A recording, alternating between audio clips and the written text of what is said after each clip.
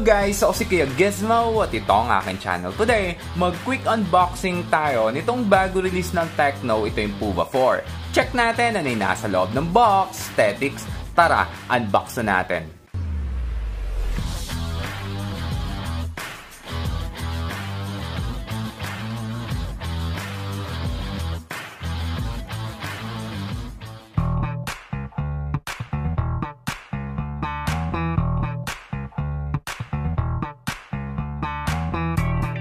Sa pinakaloob ng box, ang okay sa Tecno, meron siyang 13 months para sa warranty.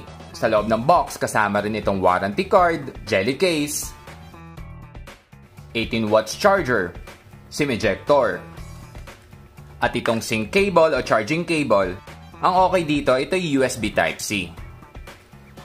At ang isang laging okay sa Tecno, meron siyang kasamang headset o earphone. Sa akin guys ay okay na to, libre lang naman.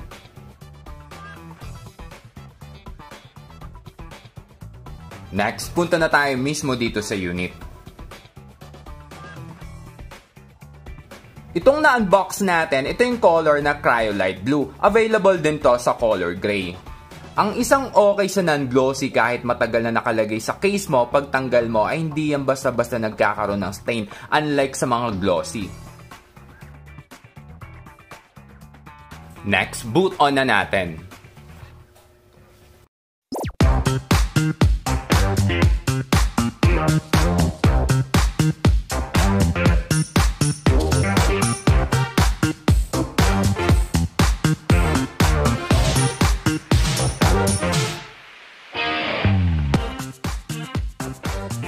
Guys, nag-boot on na siya. Isang napansin ko guys, meron nang nakalagay na screen guard or screen protector mismo dito sa unit. Isa ring napansin ko guys kung sana yung mata mo sa Redmi at Poco ay malalakihan ka dito sa pinaka punch hole niya. Next, punta na tayo sa specs. Ang Tecno Puba 4 ay meron siyang 6.82 inches na HD Plus na IPS display. Na meron siyang 90Hz na refresh rate. Ang selfie camera naman ay 8 megapixel. Sa ngayon guys, ang pagkakaalam ko ang na-release pa lang ay yung 8128 na variant sa SRP na 7,999 pesos. Ang chipset na nandito ay yung Helio G99. So guys, sa settings sa refresh rate ay naka-high na tayo at sa graphics naman ay naka-high din.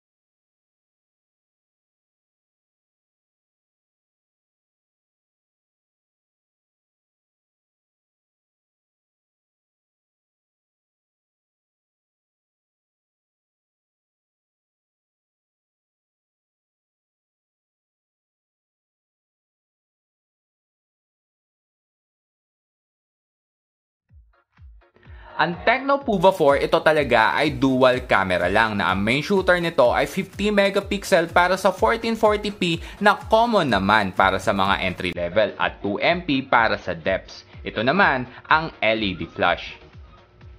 Dagdag details ko lang. Sa right side niya, itong volume rocker at power button, ito rin ang fingerprint scanner niya. Across the screen ay nag-iisa lang siya dito na SIM tray. Check natin kung anong klaseng tray to. Good news sa mga dual SIM talaga dahil ito ay triple card slot. Sa ilalim naman yung speaker grill, charging port, primary mic at itong 3.5 jack. Sa taas naman, bandang screen ay nandito yung earpiece at ito rin yung pangalawang speaker niya. Ang Tecno Puva 4, ang battery nito ay 6000 mAh na supported ito ng 18 watts. Next, itest naman natin yung 50 megapixel.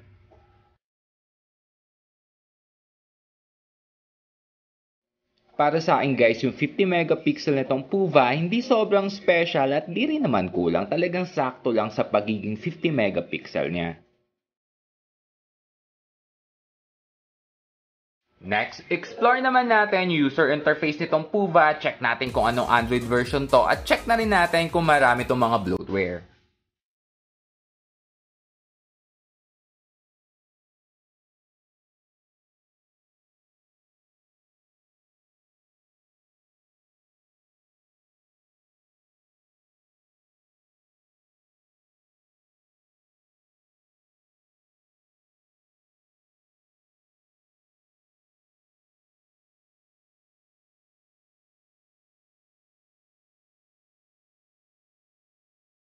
So guys, ito napansin ko. Marami siyang mga bloatware, may iba pwede mong uninstall at may iba na hindi talaga pwede. Isa ring napansin ko, hindi siya supported ng 5 GHz ng Wi-Fi pero supported naman ito ng OTG.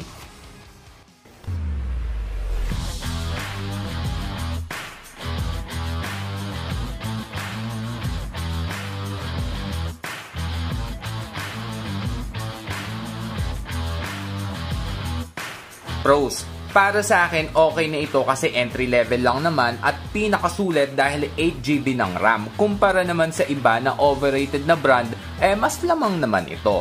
Cons, medyo bitin sa resolution, lalo pag sanay yung mata mo sa mga Full HD+, ay mararamdaman mo agad talaga dito yung mababang reso. So yun lang guys, hanggang sa mga susunod na mga quick unboxing, peace.